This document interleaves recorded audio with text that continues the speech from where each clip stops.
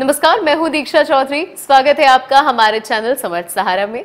आज हम आपको प्रदेश की सभी छोटी बड़ी खबरों से रूबरू कराएँगे। तो चलिए शुरू करते हैं। बेगमगंज जनपद की ग्राम पंचायत चांदबड़ में बनाए गए क्वारंटाइन सेंटर का जिला panchayat CEO Shri P C Sharma ने निरीक्षण करते हुए व्यवस्थाओं का जायजा लिया। उन्होंने पंचायत भवन और किचन शेड का अवलोकन किया और ग्रामीणों से कोरोना संक्रमण के बचाव के संबंध में चर्चा की।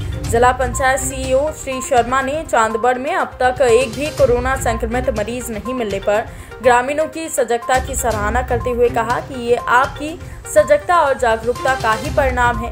यहाँ अब तक एक भी मरीज़ नहीं मिला है।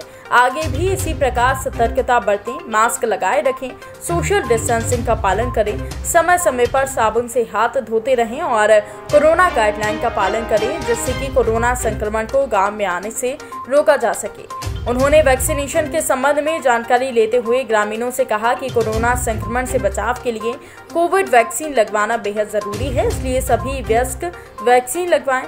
वहीं जिला पंचायत सीओ शर्मा ने ग्राम पंचायत पलुहा और उमरखू में बनाए गए क्वारंटाइन सेंटर का निरीक्षण किया। उन्होंने उपस्थित अधिकारियों से कोरोना संक्रमण से बचाव के लिए किए जा रही गतिविधियों और वैक्सीनेशन की जानकारी दी।